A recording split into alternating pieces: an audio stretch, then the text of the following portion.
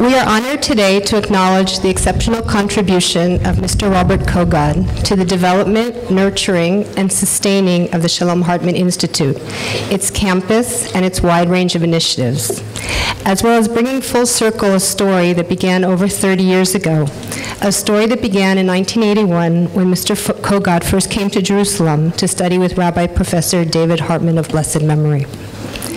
The deep friendship that developed between the two also became a partnership in leading the planning, policy, and governance of the Hartman Institute. As it grew and transitioned into the leading research and educational center that it is today.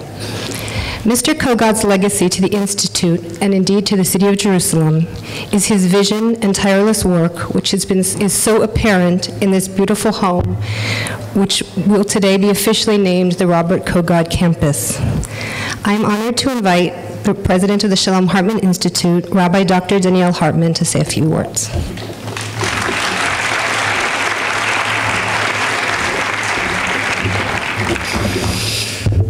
Hi, good afternoon. My father was a dreamer. He dreamed of a place in Jerusalem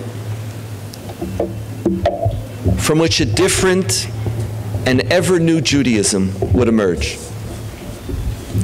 A Judaism of excellence, intellectual excellence, moral excellence, spiritual excellence. A Judaism which would be relevant, compelling, pluralistic. A Judaism which would inspire people to want to choose to be Jewish and would want to continue to be Jewish. This year, the year of my father's death, is a year in which all of us are reconnecting to his legacy, to his message, and to his teaching. It's therefore most fitting that precisely in this year, we turn and honor the man who helped turn my father's dream into a reality. And everybody who is close to my father knows that it is precisely the partnership between him and Bob Kogod which made the difference between a man of phenomenal dreams and a man who was able to actualize those dreams. And every single person here and every member of our family is personally indebted for that. And even though this is a sad year, and even though it would have been right if my father was here, and he would have loved to be here, it is right that in this year, precisely in this year of mourning and memory, that we give a special, special thanks and recognition. Rabbi Akiva it's told of Rabbi Akiva that when he finally discovered that he should become a student of Torah, that his wife Rachel said, Go, go study.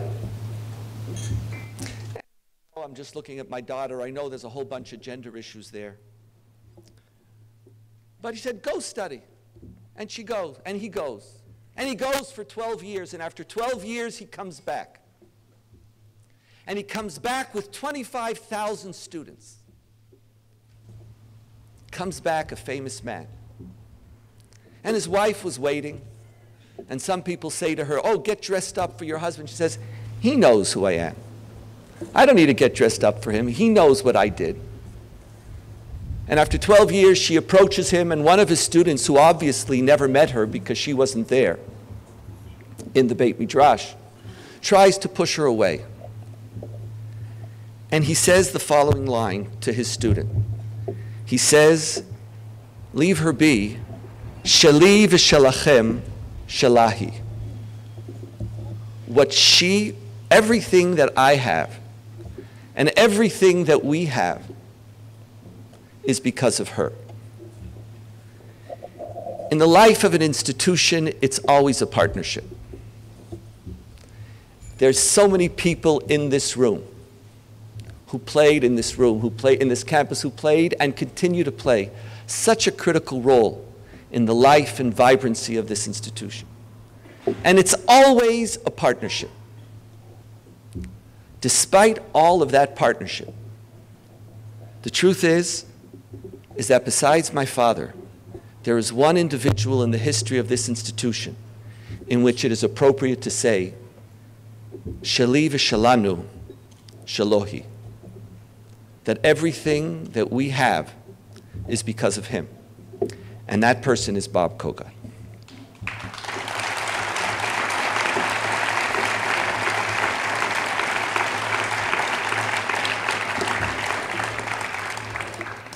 I'm going to talk about Bob Kogod tonight, but beforehand, I first want to also thank Arlene for sharing him.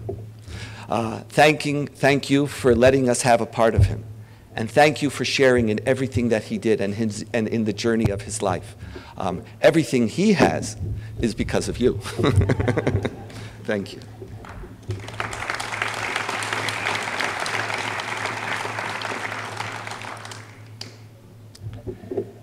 This week, as many of you know, I lectured about the three things that my father taught me.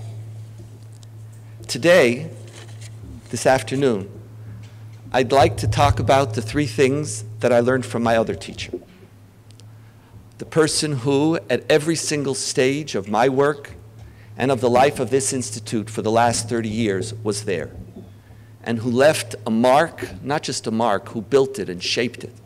And I'd like to talk about his Torah, the Torah that I learned from Bob Kogod. The first thing I learned from him, I learned the meaning of commitment. In a world where very often people and relationships are measured in tweets and sound bites and in exit policies and exit strategies before you even go in. Bob is made of a different cloth. When he starts something, he sees it through. He invests in the long term. He builds foundations. He runs marathons. He has the patience and the commitment to plant a seed a seed which might take decades. And as Yehuda taught the board, sometimes it even takes lifetimes. But Bob has that commitment and that patience. He invests in ideas and in people, knowing fully well that it could take a lifetime and when my father started to speak to Bob about his dream of producing the next Maimonides, the idea of producing a next generation of scholars, Bob said, I'm with you. And all of us were 22 at the time. Half of us didn't even have our BAs. And he said, I'm with you. Grow. And when my father said, I'm with you, it was because Bob said, I'm with you.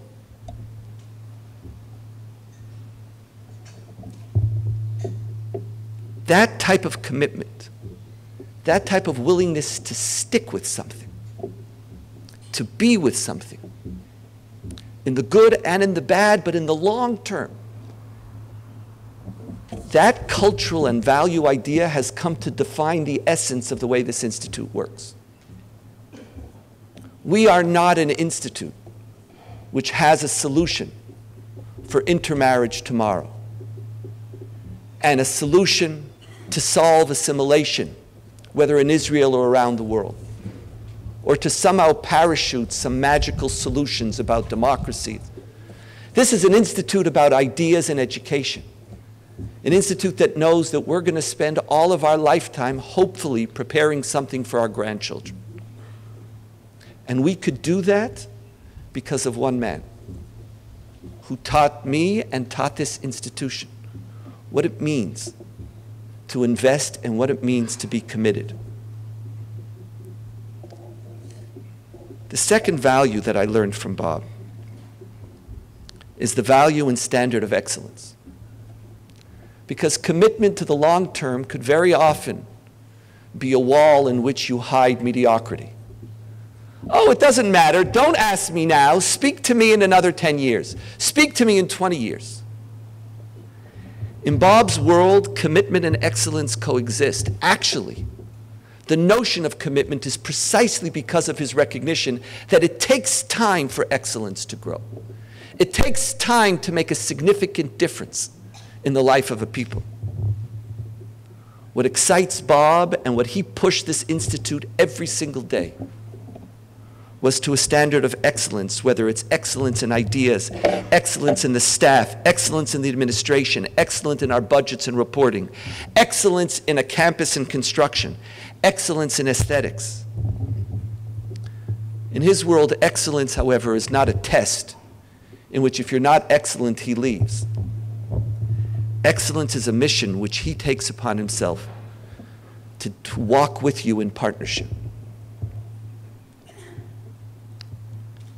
That excellence defined the way he worked tirelessly to move this institution from a family business, small little family business, to the institution that it is today.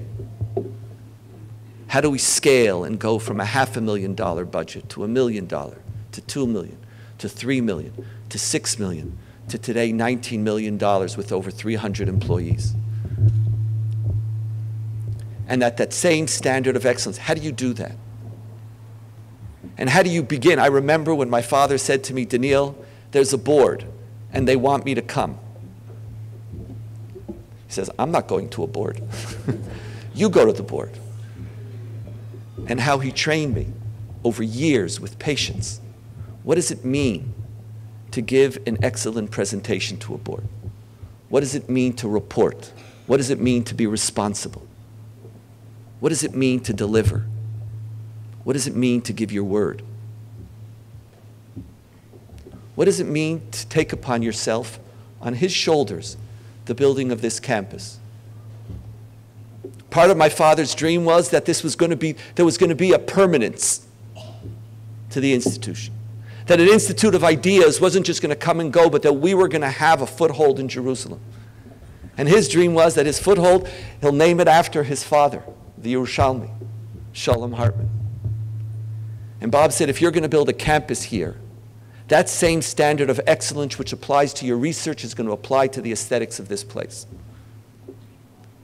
And he took the plans of the original architect and he said, I'm now going to take responsibility.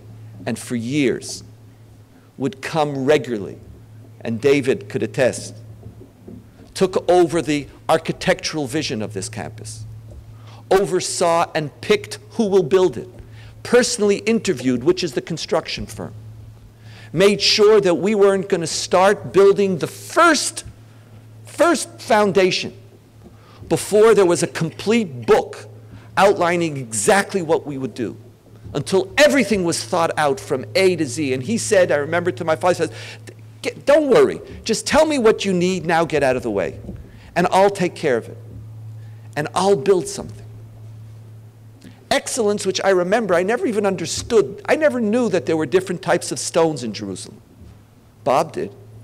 He spent two weeks traveling the city, thinking about which stones, which stones are more porous and less porous, which stones will withstand the, the test of time. White, different colors. There isn't a detail in this campus that he didn't think about that he didn't oversee. And now, 17, what is it, 16 or 17 years after its construction, look what happens when your standard is excellence and when you build something of such beauty and a gift to this city. Knowing that when you're committed and you have a standard of excellence, then you could touch eternity. The last value amongst many, but the one that I want to mention is the value of friendship. Bob, you have been first with our family, every single one of us, and with this institution through everything. Everything. There's nothing that happened in our family. There's not a need, there's not a moment, there wasn't an event that occurred that if we needed somebody and we needed to speak with somebody, you weren't the one we called. And there isn't a moment in the history of this institution that he wasn't there. And he made it very clear I'm here. I don't like surprises. Talk to me. Tell me.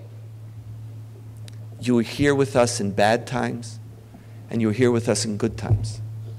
You are here with us with success, and I know you are here with us in failure. You are here with us in health, and you are here with us in death. You are always here. You are not simply the chairman of the, of the boards of the Shalom Hartman Institute. You are our friend, and you've been there. And all of us don't just feel gratitude, we'll feel love because of it.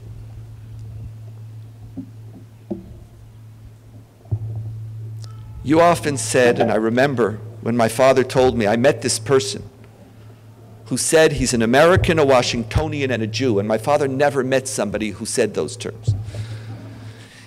He said, I don't think he fully even understood what you meant, but it was a, he's an American, a Washingtonian, and a Jew. And he said, These are three things that I care about. Your work of love and friendship and commitment and excellence with this institution was the place that you chose to invest both personally and on behalf of the Jewish people that aspect of your identity which is Jewish. But, Bob, I know that there's another, a fourth part of your identity. And I've seen it over the years, and it's one of the most beautiful parts of who you are. You're not just an American and a Washingtonian and a Jew, you're also a Jerusalemite. When you come to Jerusalem, something about you changes. The aesthetics of this city the energy of this city is something that you love. It touches you. The rhythm, the sounds, the visual element of this city is something that even before we had a great mayor and the city wasn't in the condition that it was in, you still loved it. Now it's easier to love Jerusalem. It's a, it's a good city. but even before we had this mayor and it was a stretch and it wasn't so simple, you still loved it. You saw the beauty in it. And when you came to plan, plan this campus, you said, This has to be in the spirit of Jerusalem. You're the one, I lived here. I'm, my granddaughter's 14th generation Jerusalemite. And you're the one who taught us that Jerusalem is about courtyards, Jerusalem is about subtlety. You're the one who picked that the entrance to the campus shouldn't be down there, but up here, that it should be understated and beautiful. Jerusalem touches your soul. Bob, you gave through this campus and through your friendship to all of us a gift to Jewish history. You gave a gift to the city of Jerusalem. You helped create an island of excellence, pluralism, decency, meaning. Today, with all the complexity of this year, today is a really good day. Because what we get to do is we get to repay ever so slightly that gift. Today, we get to give you a permanent legacy and name in a country, in a city, and an institution that you love. From today, the Shalom Hartman Institute is not simply going to be an institute housed in Jerusalem. Today, the Shalom Hartman Institute, from now on, is going to be, camp- is going to be housed in the Robert Kogod campus. This is as it should be, because Sheli v'shalanu shalchahi, everything that I and everything that everyone here, students, faculty, staff, board, friends of this institution, everything that we have and everything that we receive from this institute is shelcha, is because of you. Thank you.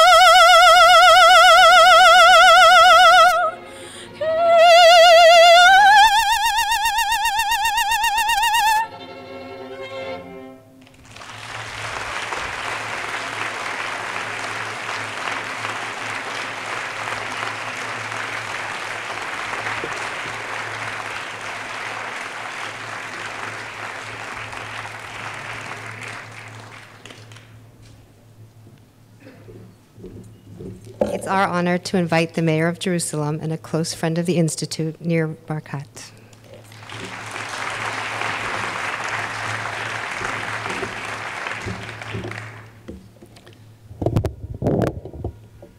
Shalom, good evening. Welcome to Jerusalem.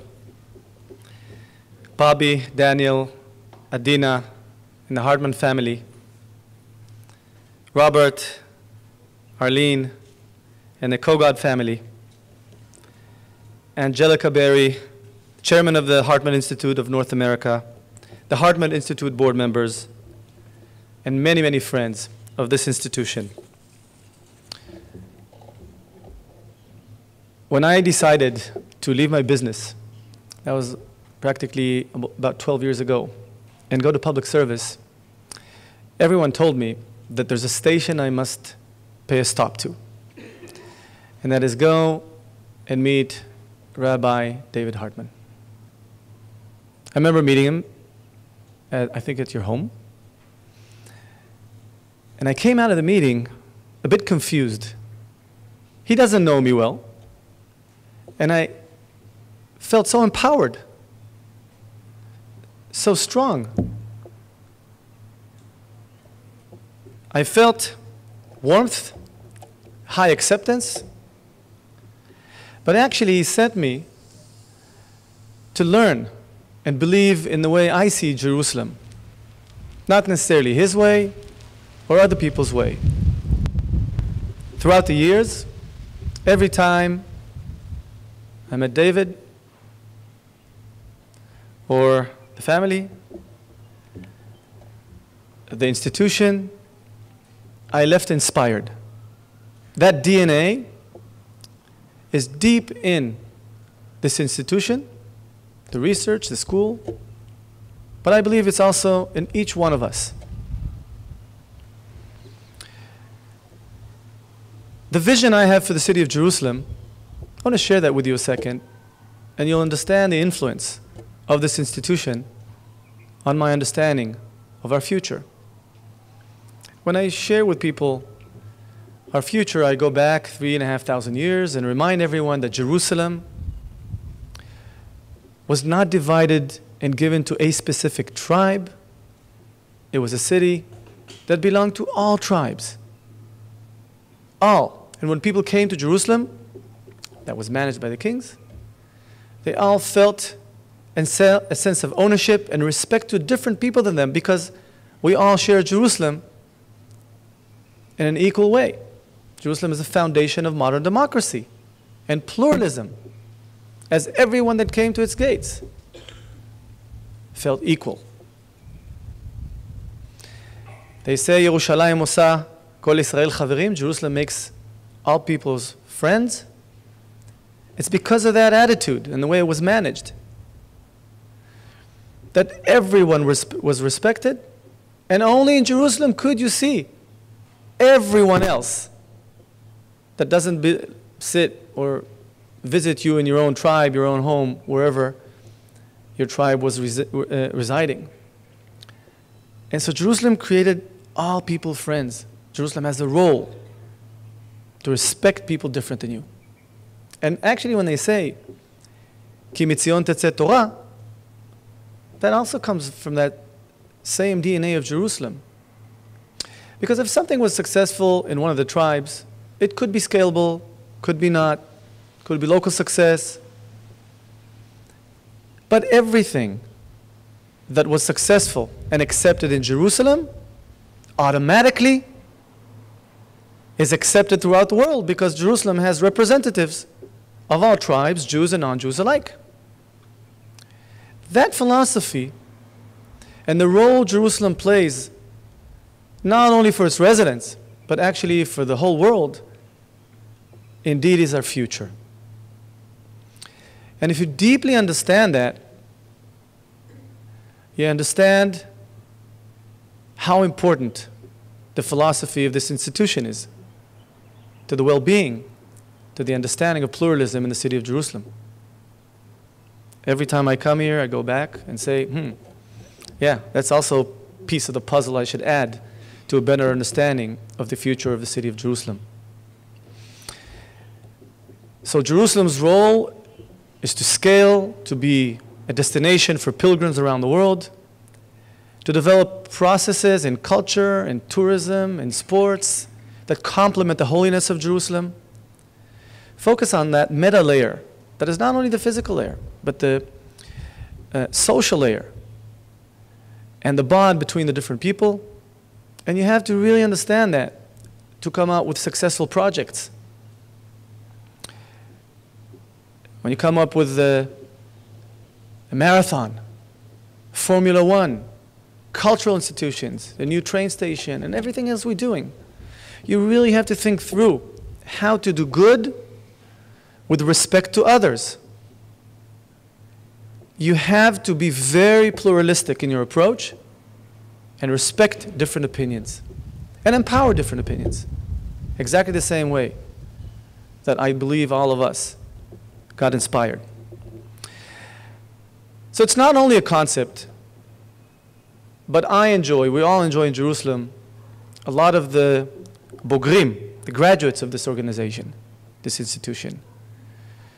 My team has a few members from the Hartman Institute. They understand the language we are talking about, like that. We're talking about the schools for boys and girls. That other cities envy Jerusalem, envy Jerusalem for the quality of education received in these schools and the importance of the graduates. Schools influence neighborhoods.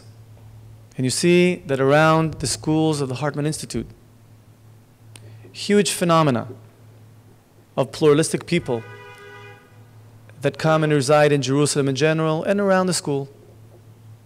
It's a magnet to deal with negative migration and create talent. Institutes influence cities. And this, the fact that we have such research is very, very important for our future.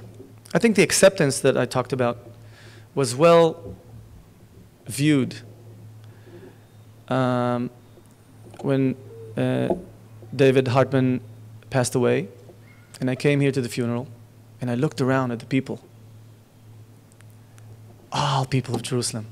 It was the best testimony for the strategy and the vision and the implementation of that concept.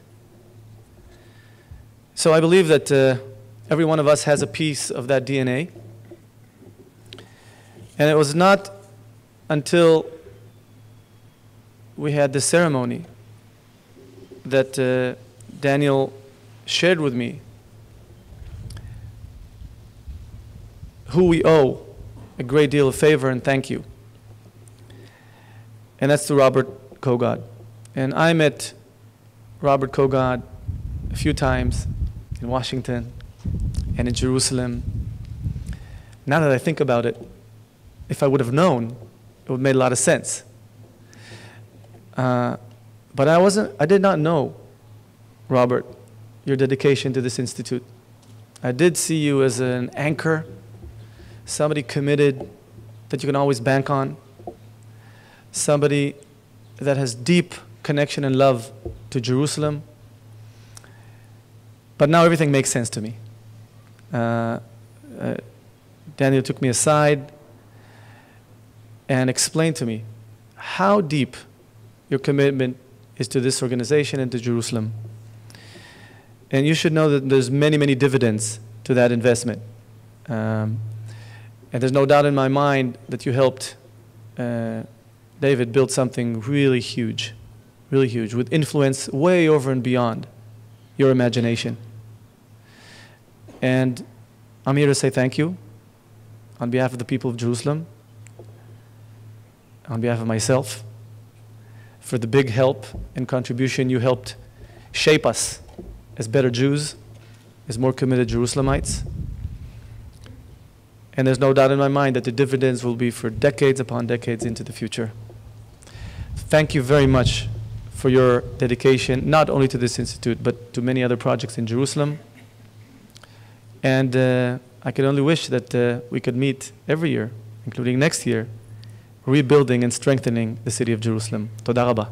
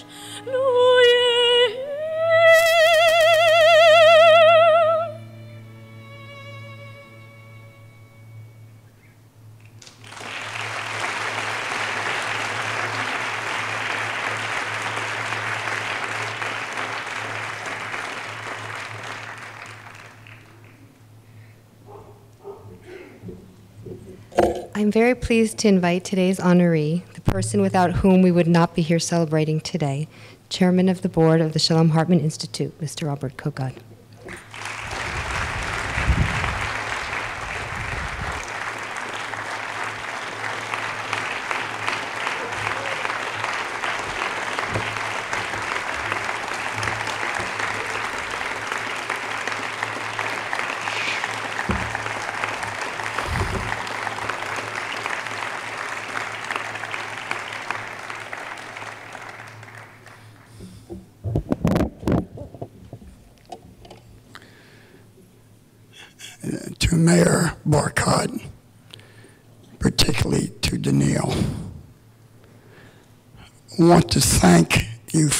So very kind and generous comments.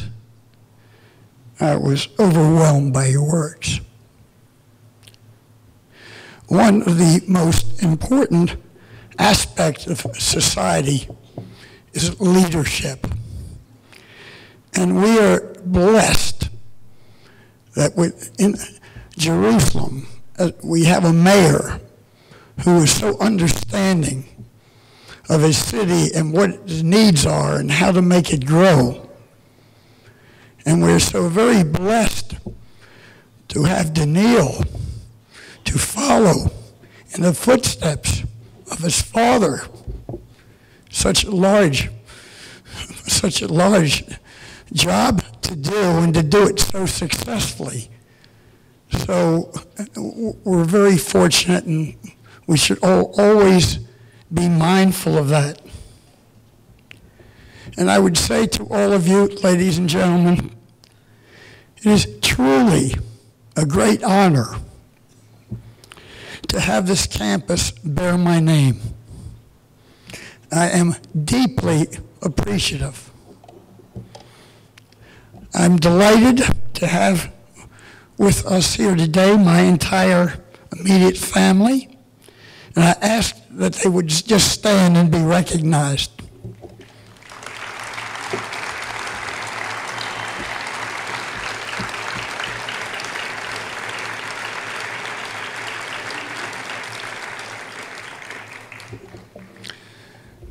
We were all saddened by David Hartman's death in February, and the Institute will both honor and commemorate David in a manner befitting such a giant in February of next year.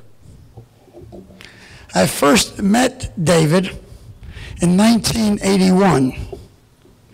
My father-in-law, Charles E. Smith, brought David to Washington to speak about the importance of Jewish education. Later in the evening, when we were together, David asked me to tell him about myself and my background.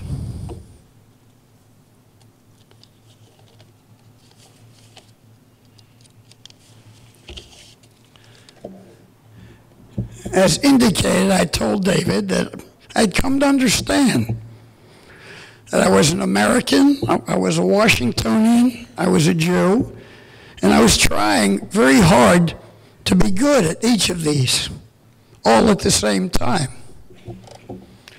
David found that interesting, and he asked me how much I knew about Judaism. My response, hardly unusual for the typical American Jew, was I was bar mitzvahed, and then a trailing off of my Jewish education. David then invited me to come to Jerusalem to study with him personally for an entire week. What a compelling offer. I had once done an executive seminar at the Aspen Institute in Colorado, and I really liked the total immersion. And by nature, I tend to have a, a lot of curiosity. I then had to figure out who, who was it that made this great offer? This being more than three decades ago, David was relatively unknown, but boy, was he charismatic. I had to find out how much of David was form and how much was substance. So I went out and did my due diligence, and I came to Jerusalem that same year to study with David. And after this first learning experience, I came back twice each year, oft times with my wife Arlene, and at times with children accompanying me, to study. Initially with David, and then with a large number of the scholars at the Institute. After so many years of study, I said to David, I said, look, either you have to give me a diploma or flunk me out. it was then that I became aware of the concept of lifelong learning. In addition to the formal learning, David taught me that as Jews, we were to repair the world. And even though we had no assurance of success, our job description was to keep trying. So as to my studies, fate intervened. In 1995,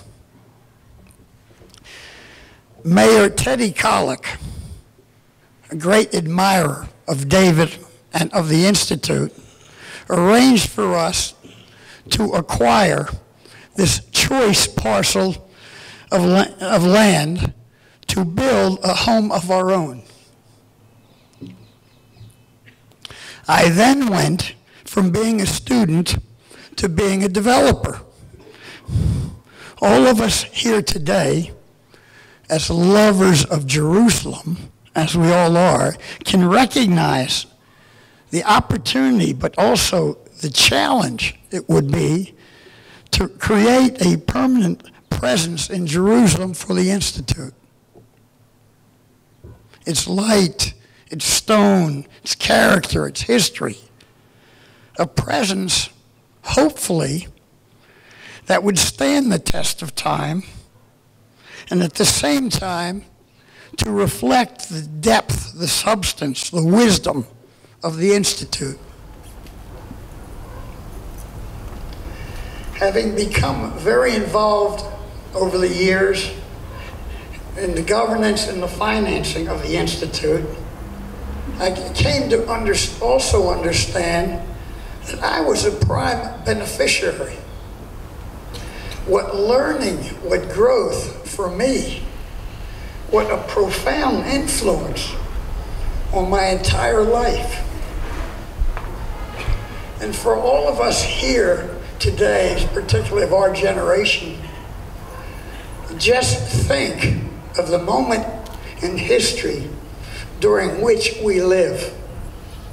We have witnessed the establishment of the State of Israel, the third time in the history of, our, of the Jewish people with its own sovereign state, a strong, vital, vibrant democracy, truly a model for this part of the world. And within the state of Israel, the Hartman Institute, with its vision of tolerance and pluralism, its message, message of making a room for the other, built solidly on the foundation of Torah, Talmud, and Jewish scholarship, and providing a path for the well being of all of the people of the world. What more noble a cause could one be part of? I would also like to take this opportunity to thank all of the people who have been part of this sensational enterprise. The boards, the administration, the staff, the scholars, the students, the benefactors, and others who all together have made this day and this dedication possible. So I thank you.